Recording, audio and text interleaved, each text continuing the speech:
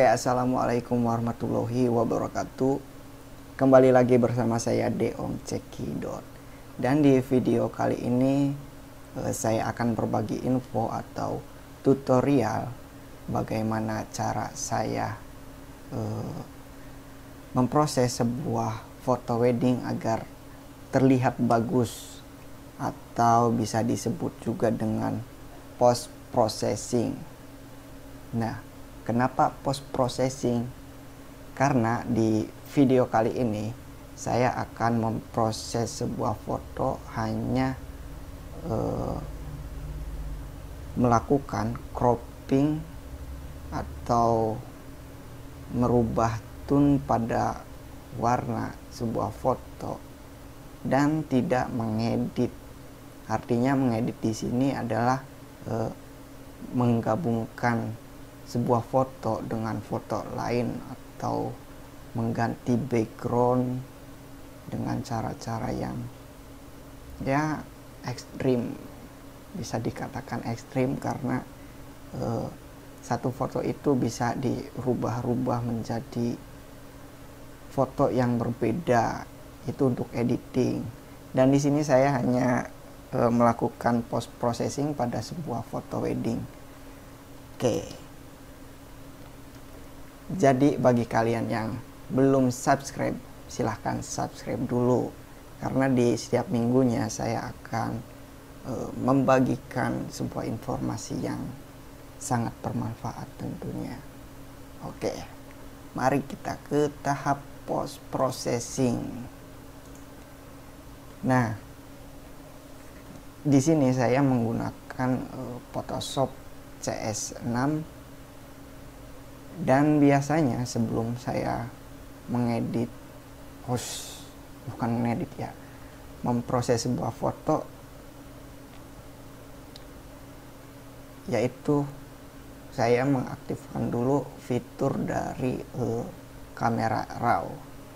Bisa kalian aktifkan dulu kamera RAW-nya di menu edit lalu ke prevents lalu ke kamera RAW dan pastikan di sini menu JPEG dan TIFF holding pastikan di JPEG-nya uh, otomatis open uh, semua foto JPEG di automatic open all support for JPEG lalu kita klik OK. Nah di sini saya akan mencoba memproses sebuah foto uh.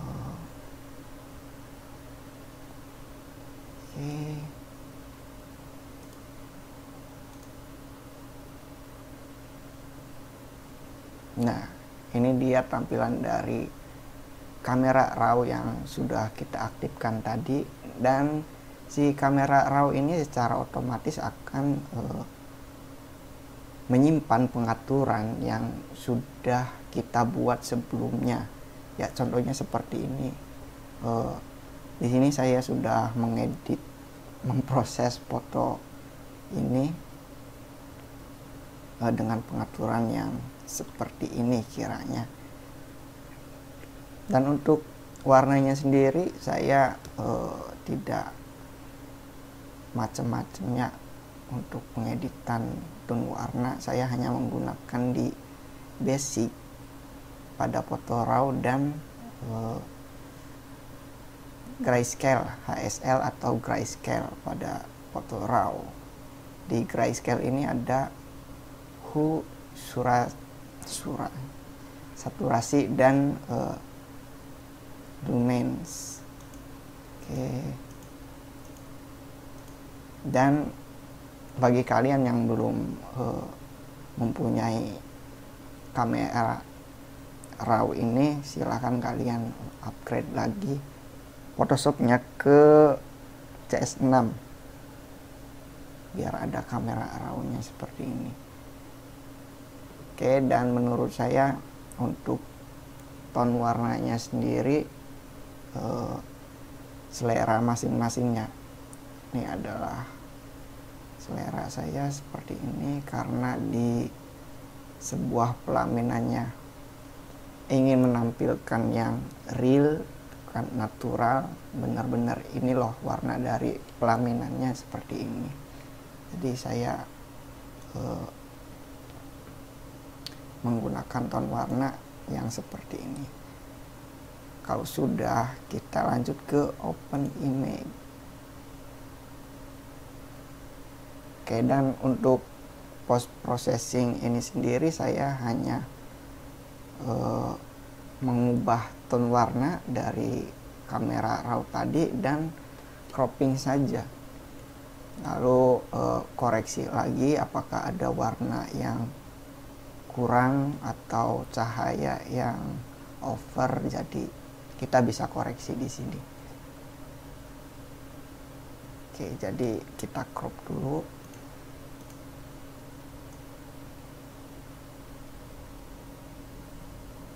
Oke, kira-kira seperti ini agar tidak terlihat miring. Oke, sudah kita crop. Dikoreksi lagi apakah ada cahaya yang over dan di sini terlihat bahwa si pengantin perempuan itu terkena cahaya yang over sekali jadi kita redupkan sedikit untuk uh, menyamakan cahayanya seperti si pengantin laki-laki.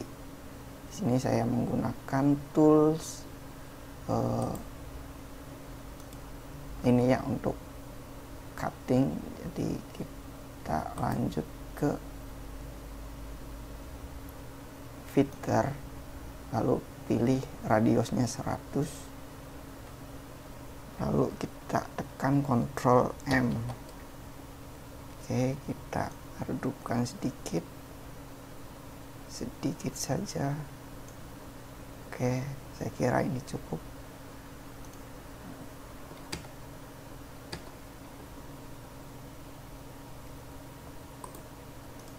Oke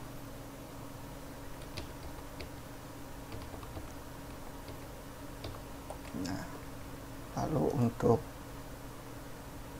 selanjutnya kita koreksi lagi bahwa di sini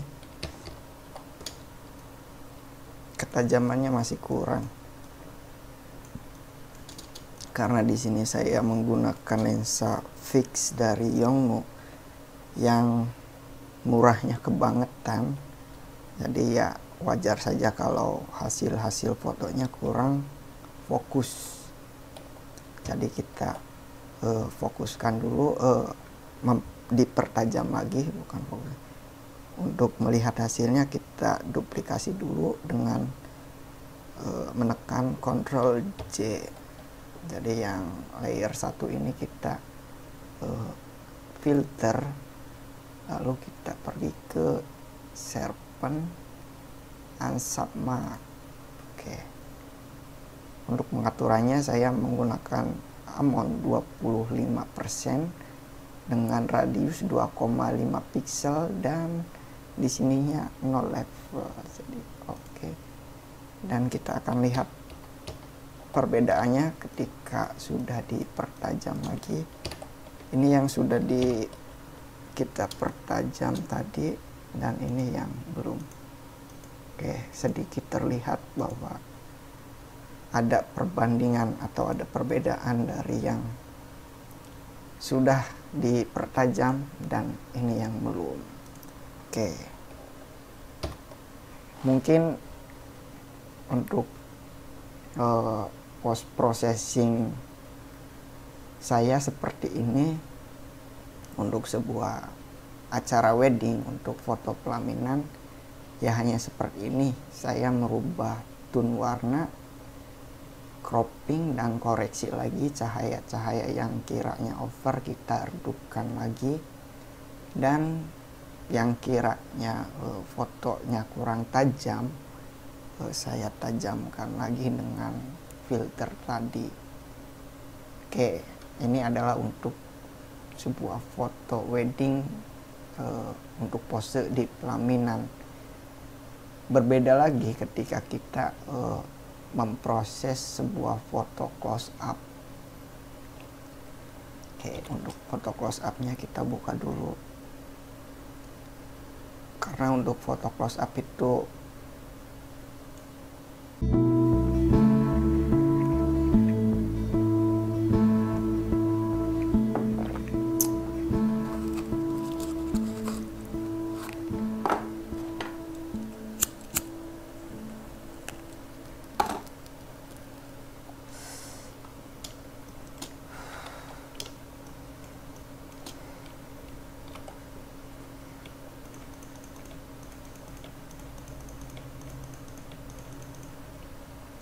Oke, dan saya kira cukup untuk uh, penghalusan make up si pengantin ini.